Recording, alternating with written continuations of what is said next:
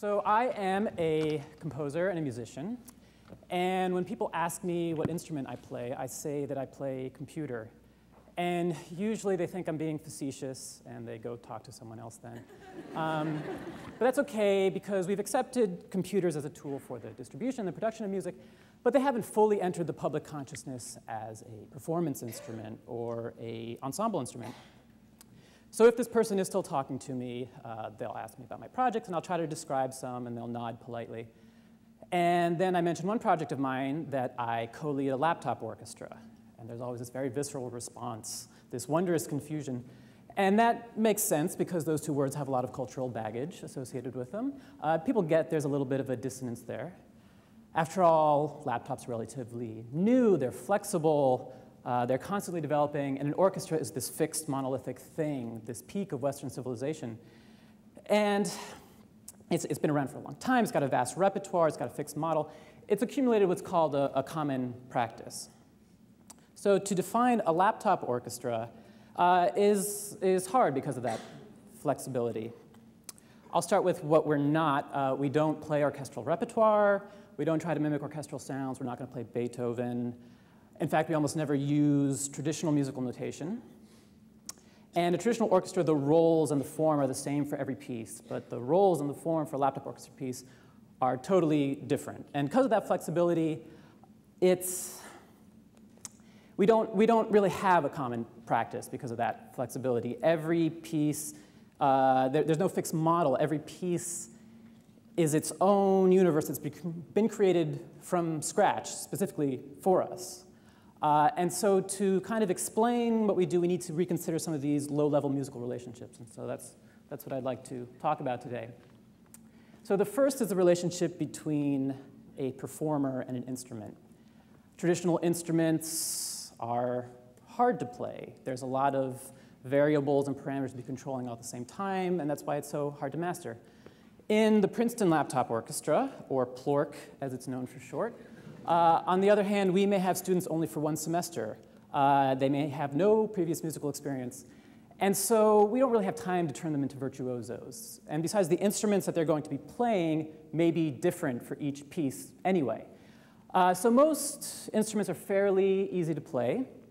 It's up to the composer to create them in software, define what they do, uh, and how we control them. So we need to get real-time performance information into the computer. Uh, we can use the computer keyboard and the trackpad. Not the most interesting uh, things to watch in a live performance, but we have a few more animated options. Here, someone is using the tilt sensor of a laptop, so merely the way that you hold it can affect the sound. Here is a string controller, which is a hacked game controller from a golf video game. So it tells the computer where your hands are in 3D space. Almost any electronic device can be appropriated as a, as a music controller. So this is fun to watch, and more importantly, it shows that there's a real performance happening. It's not just someone sitting down and hitting play uh, in iTunes. And so we have this data, and now we need to turn it into sound. Now, any gesture, any input data can control any parameter of sound. That's a lot of things. With so many potential things to control, often some are being controlled by the human, and some are being controlled by the computer. And you can see what a big task this is. I mean, a composer has to define a music generating system and define where in that system we have control. This gets even more fun when we add acoustic instruments into the mix. We can generate synthetic sounds, but we can also manipulate real world sounds as they're happening, so we get to play with that relationship between real and synthetic. It also means we get to have virtuosos performing on stage, which is a lot of fun, of course, and it really highlights uh, this divide between the different practices that are going on. In this example, we have a violin player. Her sound is being manipulated in real time in the performance by an ensemble of Nintendo Wii controllers. Now, in my experience, not all instrumentalists are comfortable with this, uh, kind of being mangled by a computer. Those who have come from a different tradition or different common practice can actually find it alienating. Uh, but those who choose to work with us are usually, are usually okay with it. The second relationship is between a composer and a performer how to transmit musical instructions. Again, PLOrk has no common practice, so you know, we need to have a way to have a composer tell us how to play the piece. Here's the most traditional system. We've got discrete events on a fixed notation for fixed ensemble. Now, throughout the 20th century, a lot of composers, they tried to inject a little more subjectivity into this process with graphic notation. This allowed a little extra room for improvisation and interpretation and chaos and the personality of the player to come through. And this kind of self-definition for each piece really makes a lot of sense uh, for a laptop orchestra. So here's a peek at what a Plork composer actually writes uh, to define the whole piece. And here's just three examples of what a player might see. This one is instructions flying at you in 3D space, kind of like Guitar Hero. This one is how parameters change over time. This one is an animation that shows you what the tilt and mouse position should be. Now, these are just three examples, and they're fairly well-defined examples, but a lot of Plork pieces have much less information than this. Many are just simple text directions that give the players a lot of freedom in, in how they play. So the task of musical direction extends beyond communicating to an individual to defining an ensemble, an ensemble's behavior as a whole. And this is the most radical break from a traditional orchestra. The invention for each piece of a new ensemble dynamic. This is a, a realm of pure creation. It's outside of the technology, and that the technology has just created a blank canvas for us to structure ensemble interaction on. Again, here's the traditional model. All of the performance information is centralized. The performance data has been created beforehand by the composer. The conductor is the sole source of real-time direction. All the players are united underneath the conductor. And if you step outside of this unity with a wrong note or a missed entrance or something like that, that's bad.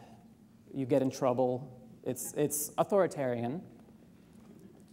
Now, many Plork pieces do have a hierarchy and do have a conductor. All the computers are on a network, so the conductor can be broadcasting any type of control information. But this conductor role is very broad. They could be controlling it very tightly over the network, or in some cases, they may not be using a computer at all. Here, there's just a visual cue to say move on to the next section of the piece. And even if a piece is centralized, information can flow back from the players to the conductor. That way a piece can take all of this real-time information and actually have that affect how the piece progresses. A piece can also be decentralized. Everybody is functioning independently with the possibility for shared control and, and shared information. So maybe you can, you can see a theme where the organization of a piece could be interpreted as a social or a political organization. It depends how deeply you'd like to interpret it, of course. Uh, some examples. Is everybody making the same sound? Or is everybody making different sounds?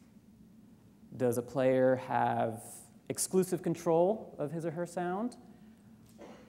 Or can that sound be altered or stolen by other players? Does a piece give players a chance to shine as individuals? Or are they always part of a group? Are you technologically limited by a set of possibilities? Or are you able to rebel and create your own content and your own behaviors? I mean, these are big questions, right? I mean, we're getting beyond purely musical concerns. And the benefit to all these high-level conceptual questions is that they make a player deal with being a mature musician immediately, immediately upon, upon joining the ensemble. They have to learn how to function within an ensemble. They have to interpret the intention of the composer. The, the, the same types of self-analysis that we demand of the composer applies to the players as well they need to be aware of the context of what they're doing and the limitations of what they're doing.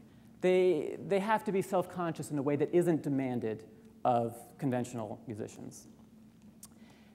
And so this word sums it up pretty well. This is demanding. It demands that players have responsibility beyond merely playing back notes on a page. It demands that composers are reanalyzing every part of their method it demands pieces that are not just for showing off technology, but are actually an original form enabled by that technology. I've talked about the relationships within the ensemble. What we're still learning is how do these demands spill outside of the ensemble to its relationship with the outside world. It demands an education system that is okay with uh, an open curriculum. And it demands audiences that are okay with not having a pre existing context for a piece of concert music. Every piece on a concert could be totally unfamiliar in form and content from, from every other piece. Now, that's a big demand. That's the definition of a difficult art form.